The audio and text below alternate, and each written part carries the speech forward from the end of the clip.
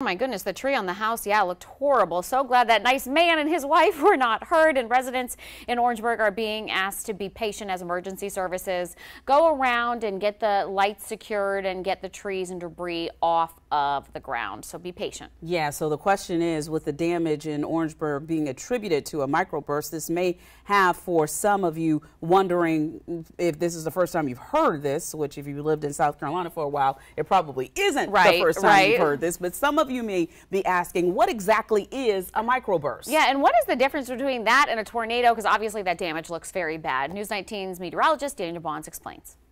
A microburst is a localized column of sinking air in a thunderstorm.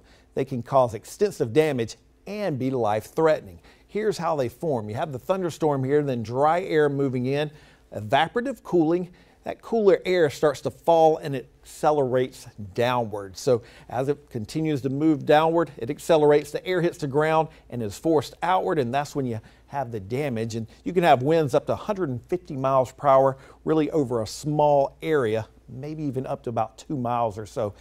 Sometimes you'll have this damage and it'll appear to be tornadic, but it is actually coming from a microburst. Now, there are two primary types of microbursts a dry microburst and a wet microburst. For us here in the southeast, and especially during the summertime, the wet microburst is the most common type. Reporting in the studio, I'm Daniel Bonds, News 19, WLTX.